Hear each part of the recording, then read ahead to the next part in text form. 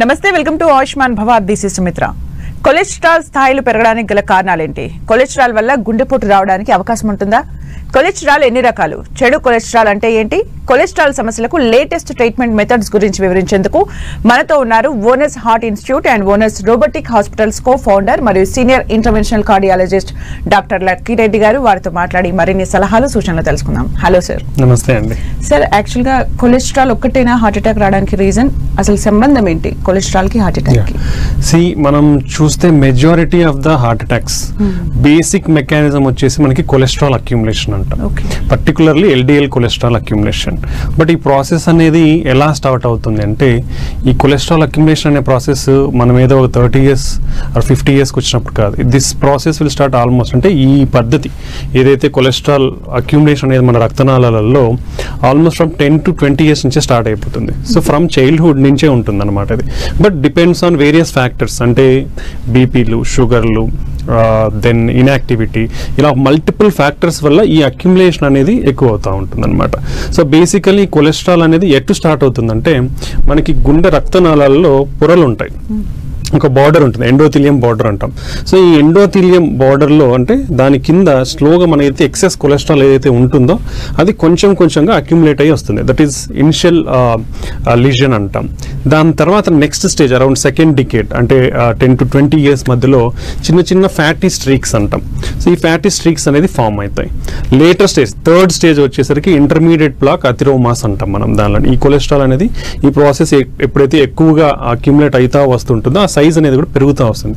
వచ్చినప్పుడు లోపల ఇన్ఫ్లమేషన్ అనేది ఉంటుంది. సెకండ్ మోస్ట్ ఇంపార్టెంట్ కాన్సెప్ట్ ఏంటంటే కొలెస్ట్రాల్ అక్యుములేషన్ అండ్ ఇన్ఫ్లమేషన్ అంటాం. అంటే మనము తెలుగులో అనుకుంటే వాపు అంటారు. లేదంటే చెడు రక్త కణాలు చెడు కణాలు అంటాం. సో ఈ రెండు కాంబినేషన్లో ఈ కొలెస్ట్రాల్ అనేది అక్యుములేట్ అవుతా వస్తుంది అనమాట సో ఇలా అక్యుములేట్ అవుతూ కొన్ని స్టేజెస్ ఉంటాయి దీనిలలో. అంటే ఇనిషియల్గా మనం చిన్నగా ఉన్నదాని చిన్న స్టేజ్లో ఉన్నప్పుడు ఫ్యాటీ స్ట్రీక్ అంటాం. అది నిదానంగా ప్లాక్ అనేది బిల్డప్ బిల్డప్ అయితే వస్తుంది. సో కింద నుంచి మన అండర్లైన్ ఇంకో లేయర్ ఉంటుంది. ఆ మీడియా అంటాం. అక్కడ నుంచి స్మూత్ మజిల్ సెల్స్ అంటే మజిల్ సెల్స్ ఫైబర్ కొన్ని సెల్స్ కణాలు ఉంటాయి. ఆ కణాలు వచ్చి అక్యుములేట్ అవుతాయి. అక్యుములేట్ వచ్చినప్పుడు అది స్టేబిలైజ్ అవుతుంది కొన్ని ప్లాక్స్ దాని లోపల ఇంకో కాంపనెంట్ ఉంటుంది. అది చీములాగా నెక్రోటిక్ అంటాం. అది అయిందనుకోండి దాన్ని వల్నరబుల్ ప్లాక్ అంటాం. సో ఇట్లా డిఫరెంట్ స్టేజెస్ ఉంటాయి మన కొలెస్ట్రాల్ అక్యుములేషన్లో ఇవి ఎటువంటి స్టేజ్లో ఎటువంటి ప్రాబ్లమ్స్ కాస్ చేస్తాయి అనేది ఇంపార్టెంట్. సో మనకి అక్యూట్ హార్ట్ అటాక్స్ ఏవైతే చూస్తున్నామో అవి వల్నరబుల్ ప్లాక్ అంటాం. అంటే ఈ ఒక ఈ లేయర్ అనుకోండి లేయర్ మీద మనకి కొలెస్ట్రాల్ అక్యుములేట్ అయ్యి స్మూత్ మజిల్ సెల్స్ అనేది ఉంటాయి. ఎప్పుడైతే ఈ లోపల ఏదైతే ఇంకోటి చీమ్ లాంటిది నెక్రోటిక్ కోర్ అంటాం అలాంటిది ఎక్కువ ఉందనుకోండి అప్పుడు మన పైన ఉండే పొర స్ట్రాంగ్గా ఉండేట్టు కూడా వీక్ అయిపోతాయి. వీక్ అయ్యి సడన్గా రప్చర్ అవుతాయి. రప్చర్ అయినప్పుడు సడన్గా ఏవైతే ఈ ఈ- ఈ లూమెన్ అంటాం ఈ బార్డర్ నుంచి బ్లడ్ లోపలికి ఎక్స్ ఎక్స్పోజ్ అవుతాయి. అంటే బ్లడ్కి కాంటాక్ట్ అవుతాయి. కాంటాక్ట్ అయినప్పుడు మనకి బ్లడ్ అనేది క్లాట్ అవుతూ ఉంటుంది అనమాట సో ఇది వలనరబుల్ ప్లాక్ అంటే. ఈ వలనరబుల్ ప్లాక్స్ ఉన్నప్పుడే మనకి అక్యూట్ హార్ట్ అటాక్స్ అనేది వస్తుంది. సో మోస్ట్లీ మనకి హార్ట్ అటాక్స్ రానికి ముఖ్య కారణం వచ్చేసి కొలెస్ట్రాల్ కొలెస్ట్రాల్తో పాటు నెక్స్ట్ ఇంపార్టెంట్ థింగ్ ఏంటంటే ఇన్ఫ్లమేషన్ అంటాం. అంటే చెడు కణాలు మనకి ఈ రెండు కాంబినేషన్లోనే మనకి కొలెస్ట్రాల్ అనేది పేరుకుపోతూ వచ్చేసి మన ఏదైతే రక్తనాళం ఉంటుందో దాన్ని నిదానంగా నేరో చేస్తూ వస్తుంది. అంటే ఎప్పుడైతే ఈ ప్లాక్ అనేది బిల్డప్ అవుతూ ఉంటుందో ఈ లూమెన్ అంటే రక్తం పారే ఏదైతే ఏరియా ఉంటుందో అది తగ్గుతూ వస్తుంది. అలా తగ్గుతూ వచ్చినప్పుడే మనకి హార్ట్ అటాక్స్ అనేది వస్తాయి. ఈ హార్ట్ అటాక్స్ కూడా రెండు రకాలు ఉంటాయి. Acute heart attacks chronic heart attacks అంటాం. అంటే అక్యూట్ హార్ట్ అటాక్లో మనం ఇంతవరకు డిస్కస్ చేసిన వలరబుల్ ప్లాక్ అనే దానివల్ల సడన్గా ఈ రప్చర్ అయిపోయి అది బ్లడ్కి ఆ కాంపోనెంట్స్ అన్నీ కూడా ఎక్స్పోజ్ అవడం వల్ల సడన్గా బ్లడ్ రక్తం గడ్డగట్టిపోయి సడన్ ఫ్లో అనేది తగ్గిపోతుంది. తగ్గిపోయినప్పుడు మనకి సడన్ హార్ట్ అటాక్ వస్తుంది. అది చాలా డేంజరస్ ఎందుకంటే మాక్సిమం ఫిఫ్టీ పర్సెంట్ మందిలో ప్రాణాలు కూడా పోవచ్చు. సడన్గా వచ్చిన వెంటనే. అలా కాకుండా కొందరు క్రానిక్ హార్ట్ అటాక్ అంటాం. అంటే నిదానంగా ఆ ప్లాక్ ఏదైతే ఉందో కొలెస్ట్రాల్ అనేది అక్యుములేట్ అయితే వచ్చినప్పుడు ఈ రక్తం పారే ఏరియా ఏదైతే ఉందో అది నిదానంగా తగ్గుతూ వస్తుంది. ఇది మోర్ దెన్ సెవెంటీ పర్సెంట్ కంటే ఎక్కువ నేరో అయినప్పుడు సన్నబడినప్పుడు మనకి నడిస్తే ఆయాసం రావడం ఛాతి నొప్పి రావడం ఇలాంటి మన సిమ్టమ్స్. అనేది కనిపిస్తాయి అన్నమాట. ఓకే సార్ అయితే మీరు చెప్తున్న దాని ప్రకారం చూస్తే ఇట్స్ బిగ్ ప్రాసెస్ చాలా రోజుల ప్రాసెస్ తర్వాత నాట్ ఫ్రమ్ లేట్ స్టేజ్లో వచ్చేది కాదు. ఇదంతా కూడా మనం చిన్నప్పటి నుంచే వచ్చేది. సో కాబట్టి మన చిన్నప్పటి నుంచి హెల్త్ అనేది చాలా ఇంపార్టెంట్ దీంట్లో. సార్ ఈ మధ్య కాలంలో చిన్న పిల్లల్లో కూడా హార్ట్ అటాక్స్ చూస్తున్నాం కదా. చనిపోతున్నారు. మరి. రీజన్ ఏంటి సార్? అంటే ఇప్పుడు మనము ఏజ్ ప్రకారం తీసుకుంటే కారణాలు అనేది చాలా డిఫరెంట్గా ఉంటాయి. ఇప్పుడు యంగ్ ఏజ్ అని మనం ఎప్పుడు ఎందుకు యంగ్ ఏజ్లో కూడా హార్ట్ అటాక్స్ అనేది ఎక్కువ అవుతున్నాయని డిస్కస్ చేస్తాం. సో యంగ్ ఏజ్ అంటే మనం డబ్ల్యూహెచ్ఓ ప్రకారం twenty five to forty four years age అంటాం. Okay then after that only మనం మిడిల్ ఏజ్ ఎల్డర్లీ ఏజ్ అని చెప్తాం. సో ఈ twenty five to forty four ఇయర్స్లో కూడా ఎందుకు ఎక్కువ అవుతున్నాయంటే మన లైఫ్ స్టైల్ విధానాలన్నీ మారిపోయాయి. సో ఈ life style changes physical inactivity అంటే పని చేయలేక ఎక్సర్సైజ్ లేకపోవడం బాడీకి then dietary habits healthy diet అనేది తగ్గిపోయింది. సో ఈ రెండింటి వల్ల ఒబిసిటీ ఊబకాయం అనేది ఎక్కువైతా ఉంది. ఈ అన్నిటి రీజన్స్తో మనకి హార్ట్ అటాక్స్ అనేది ఎక్కువ చూస్తున్నాం. మనం డేటా చూసుకుంటే మనకి అవైలబుల్ సైంటిఫిక్ డేటా కాలర్ ఉన్నారు. తర్వాత కంటిన్యూ చేద్దాం. హలో అండి. మస్తాన్ రెడ్డి గారు హలో అండి. నమస్తే మేడం. నమస్తే అండి డాక్టర్ గారితో మాట్లాడండి. సార్ నమస్తే సార్. నమస్తే అండి. సార్ నాకు షుగర్ బీపీ ఇలాంటి ఎన్ని ప్రాబ్లమ్స్ ఉన్నాయి సార్ నాకు. ఓకేనండి. ఈ మధ్య ఇది కొలెస్ట్రాల్ సంబంధించి టెస్ట్ చేయిస్తే ఓకే. టీజీఎల్ అన్నారు సార్ దాన్ని. సింపుల్గా టీజీఎల్ అనే కొలెస్ట్రాల్ చాలా మూడు వందల యాభై ఐదు ఉంది సార్ నాకు. ఓకేనండి. దానికి ఏదో ఫినోగ్రేట్ వన్ ఫార్టీ ఫైవ్ అనే ఒక టాబ్లెట్ రాశారు సార్. ఓకేనండి. అది వాడి వాడిన తర్వాత చాలా కాలం ఒక ఆరు నెలలు వాడిన తర్వాత రెండు వందల పదికి వచ్చింది సార్ అది. ఓకే. అది సార్ అది ఏంది ప్రమాదమా? ఏమన్నా మీ వయసు ఎంత అండి నాకు అరవై ఒకటి సార్ రేపు జనవరికి అరవై రెండు వస్తాయి సార్. ఓకేనండి ఓకే. ఓకేనండి. సి మనకి తనకి బీపీ షుగర్ రెండు ఉంటున్నాయి. సో యూజువల్గా మనకి లాట్ ఆఫ్ గైడ్ లైన్స్ అనేది ఉన్నాయి. కొలెస్ట్రాల్ని ఎలా కంట్రోల్ చేయాలి? ఎందుకంటే కొలెస్ట్రాల్ వల్లనే ఎక్కువ హార్ట్ అటాక్స్ వస్తున్నాయి కాబట్టి lot of European guidelines American guidelines Asian guidelines అని ప్రతి కంట్రీ కాంటినెంటల్కి గైడ్ లైన్స్ అనేది ఉన్నాయి. అన్ని guidelines even we're having Indian specific guidelines so ఈ గైడ్ లైన్స్ ప్రకారం షుగర్ ఎవరైతే ఉంటుందో డెఫినెట్లీ వాళ్ళు కొలెస్ట్రాల్ లోయరింగ్ డ్రగ్స్ అనేది స్టార్ట్ చేయాల్సిందే that is compulsory all diabetics cholesterol lowering medications అనేది వాడాలి. ఎందుకంటే డయాబెటిక్స్లో ఇన్ఫ్లమేషన్ అనే కాంపోనెంట్ కూడా కంటిన్యూస్గా ఉంటుంది కాబట్టి ఈ కొలెస్ట్రాల్ లోయరింగ్ డ్రగ్స్ ద్వారా బోత్ కొలెస్ట్రాల్ తగ్గించడం మల్టిపుల్ బెనిఫిషియల్ ఎఫెక్ట్స్ ఉంటాయి. యాంటీ ఆక్సిడెంట్ ఎఫెక్ట్ దీని ప్లియోట్రాఫిక్స్ ఎఫెక్ట్స్ అంటాం.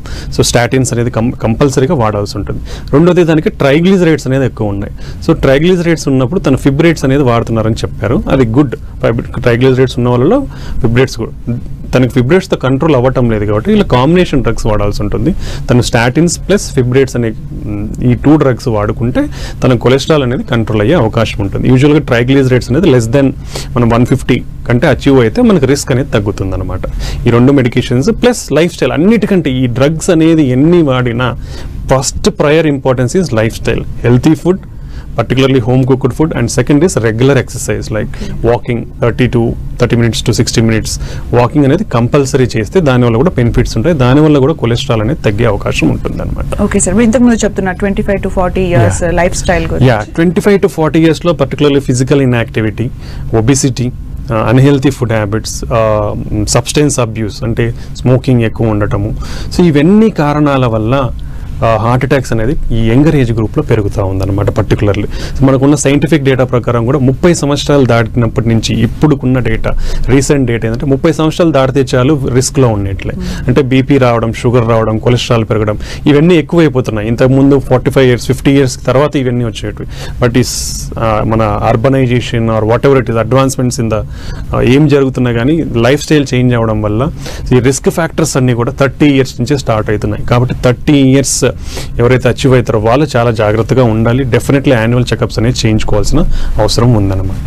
అలాగే చెడు కొలెస్ట్రాల్ మంచి కొలెస్ట్రాల్ ఇవి అంటే ఏ ఫుడ్స్ నుంచి వస్తాయి ఎలా తీసుకోవాలి? సో బేసికల్లీ మనకి కొలెస్ట్రాల్ అనేది వీళ్ళు లేబుల్సెస్ ఒకటి టోటల్ కొలెస్ట్రాల్ లెవెల్ ఎంత అని చూస్తాం.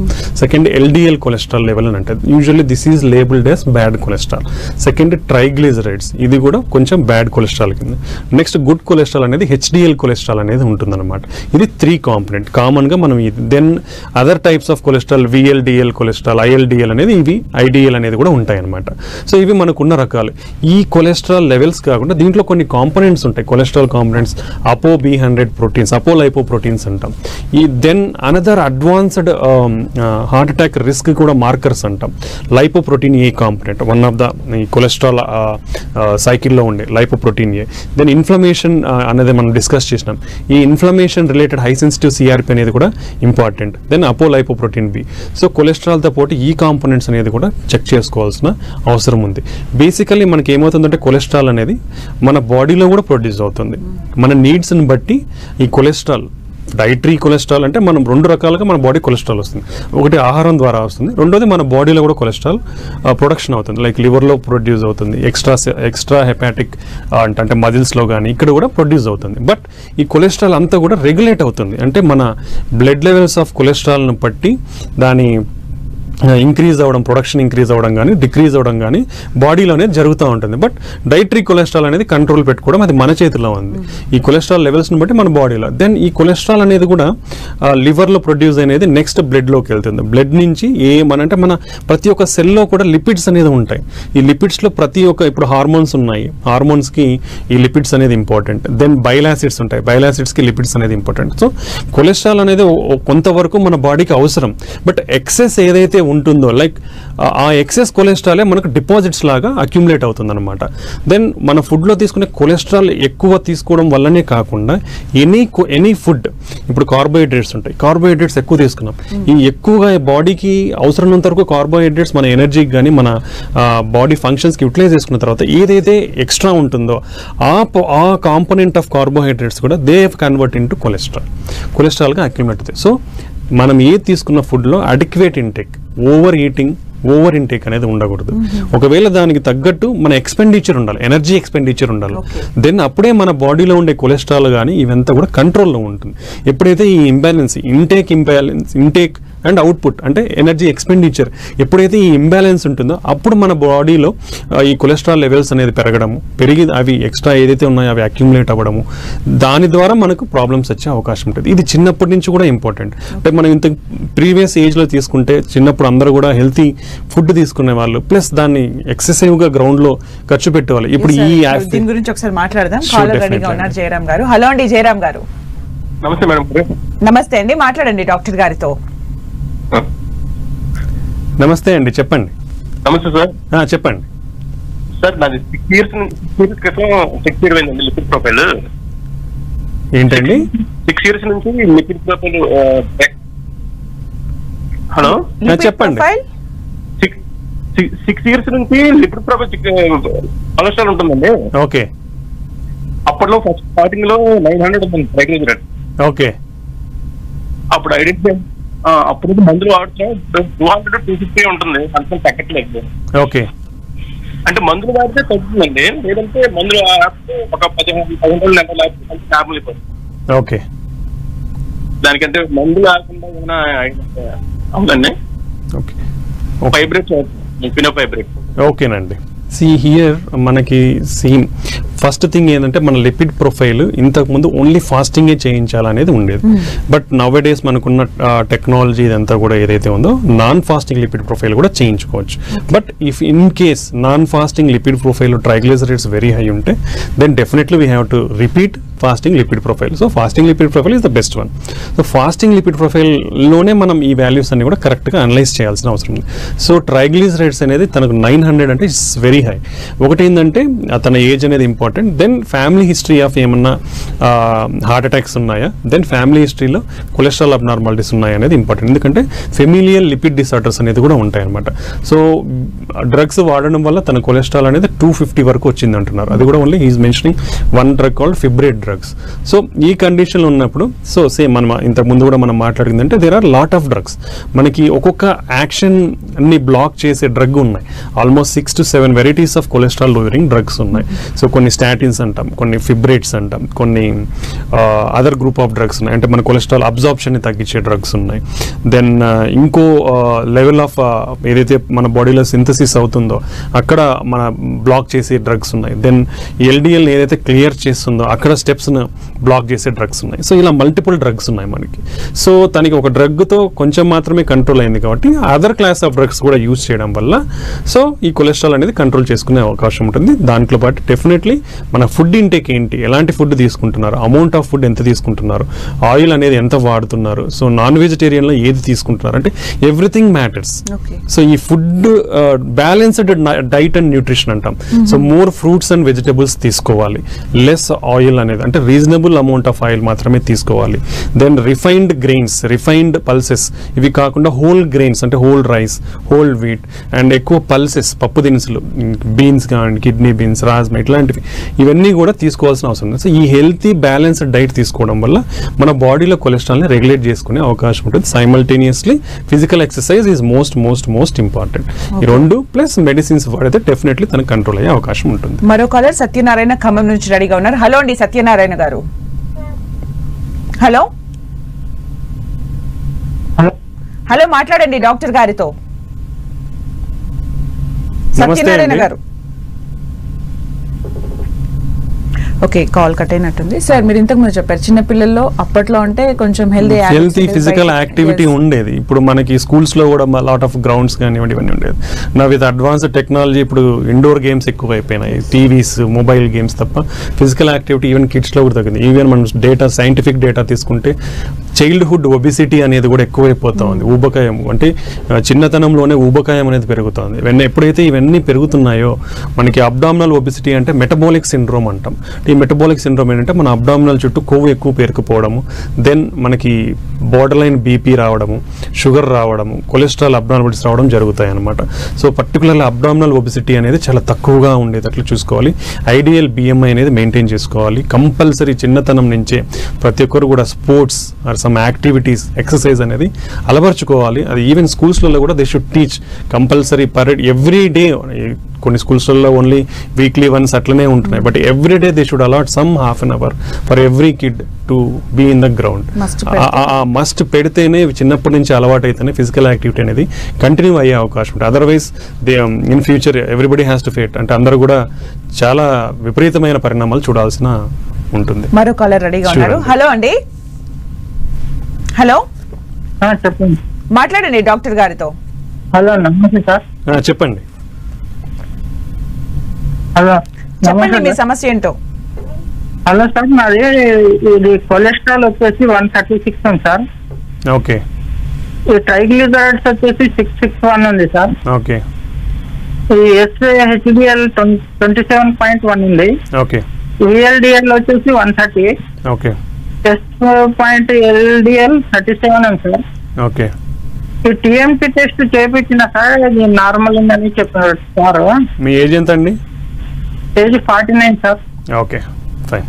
ఇది ఒక టాబ్లెట్ ఇచ్చిండ్రు సార్ నికోవే అని చెప్పి ఒక టాబ్లెట్ ఇచ్చిండ్రు.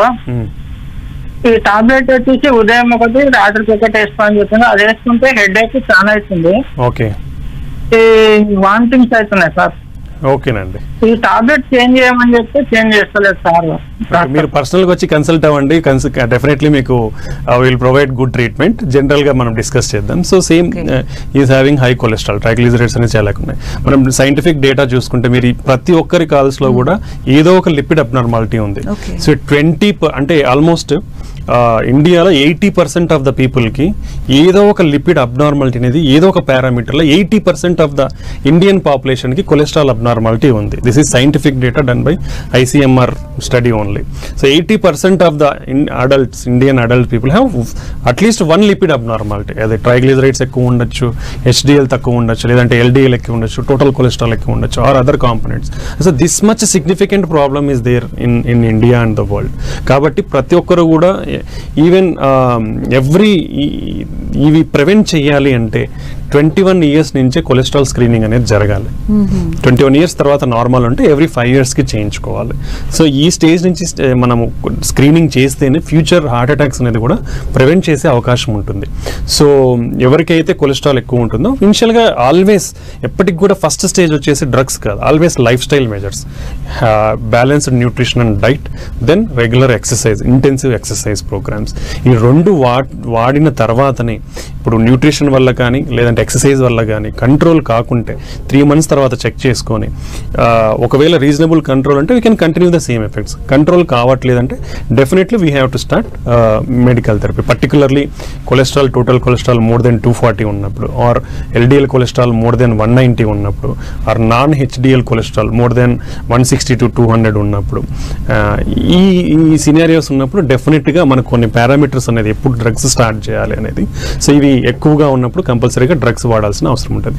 హైట్ మనం ఇప్పుడు అందరూ కూడా ట్రైగ్లిజరైడ్స్ చాలా ఎక్కువ అని చెప్తున్నారు. So more than nine hundred అట్లా ట్రైగ్లిజరైడ్స్ ఉంటే డెఫినెట్లీ ప్యాంక్రిటైటిస్ రిస్క్ కూడా ఉండే అవకాశం ఉంటుంది. కాబట్టి వీళ్ళందరూ కూడా వాళ్ళ కొలెస్ట్రాల్ని స్ట్రిక్ట్గా కంట్రోల్ చేయాల్సిన అవసరం ఉంది. సో దే నీడ్ ఆల్ అందరూ కూడా పర్సనలైజ్డ్ ట్రీట్మెంట్ అనేది important so if they come to ours correct doctors then definitely will prescribe whatever the medications but along with whatever medications we give healthy lifestyle with balanced diet and exercise is compulsory along with Compulsory. Then only will achieve good cholesterol control అనేది achieve చేసే అవకాశం ఉంటుంది మరో caller Khammam నుంచి రెడీగా ఉన్నారు. Hello అండి. అండి. మాట్లాడండి డాక్టర్ గారితో. ఓకే అండి. నమస్తే అండి. నమస్తే అండి. చెప్పండి సార్. సార్ నాకు హార్ట్ అటాక్ ఉంది. అంటే సారీ మా మదర్కు ఉన్నది. మా తాతయ్య కంటే వారసత్వం అంటున్నారు. ఓకే. ప్రస్తుతం నేను ఎట్కాల్ థర్టీ ఎం చేస్తున్నానండి. ఏం చేస్తున్నారండి? ఎట్కాల్ ఏటీసీహెచ్ ఎట్కాల్ twenty MG tablet. Okay. Just ఇది టిషర్ట్స్ ఎక్కువ తినొచ్చా అండి? తినొచ్చా? అవసరం లేదు. మీ మదర్కి హార్ట్ అటాక్ ఏ ఏజ్లో వచ్చిందండి? Nearly sixty okay fine. Okay. మా మా తాతయ్య కూడా సెవెంటీ లో చనిపోయాడండి. ఓకేనండి. మా మా మమ్మీ పెద్ద మా వాళ్ళ చెల్లెళ్ళు కూడా స్ట్రోక్స్ వచ్చి చనిపోయారు. Okay okay. ఇప్పుడు మీ డౌట్ ఏందండి? ఏమి ఏమి వేసుకోవాలని మీ డౌట్? అంటే ఇష్యూ తినొచ్చా? అట్లా. Food food habits. ఇబ్బంది లేదు కదా అండి. ఓకే ఫైన్ అండి. ఇదండి. So he's having strong family history particularly family history ఇంతకు ముందు ఈజ్ ఈక్వల్ టు డయాబెటీస్ డయాబెటీస్లో ఎట్టయితే కంపల్సరీగా ఎలాగైతే మనం స్టాటిన్స్ అనేది వాడాలనుకుంటున్నాం now recent guidelines all telling that family history అనేది చాలా సిగ్నిఫికెంట్ హార్ట్ అటాక్స్ రావడానికి.